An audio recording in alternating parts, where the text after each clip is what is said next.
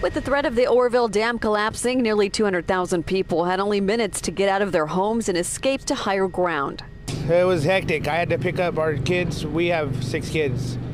We left with nothing. Absolutely nothing. Some parents grabbing their kids as quick as possible and leaving behind their shoes.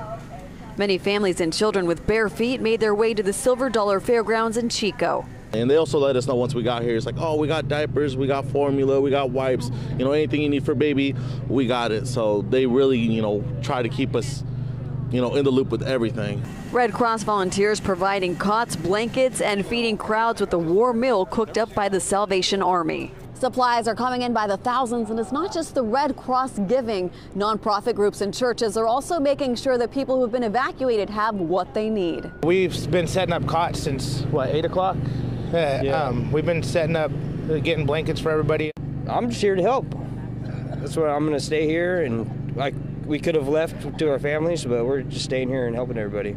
We've seen many examples of kindness. Donna Hanson evacuated without her children's phone number, and without a cell phone, she got stranded at the gas station. It's been a long night.